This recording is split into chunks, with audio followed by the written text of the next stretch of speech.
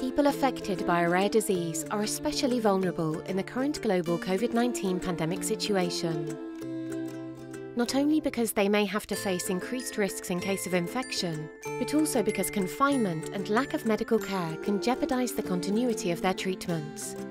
We need to collaborate at an international level if we want to know more about the impact of the pandemics.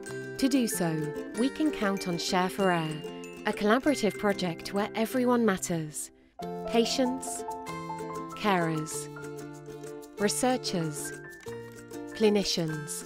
Each have a unique perspective and valuable insights, which we explore and capture using surveys designed by experts. Patients and carers play a crucial part in our research projects. Their expertise is our guideline. We strongly believe that collective intelligence can lead to solid advancements over individual efforts. We want to make a patient registry to investigate the effects of COVID 19 on people affected by rare diseases. In turn, the outcomes of this research will be shared with the users of the platform. From specific symptoms to cross cutting issues, we want to share what we know.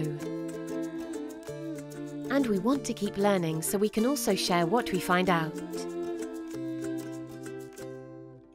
Together, we can make a difference in rare diseases. Get on board.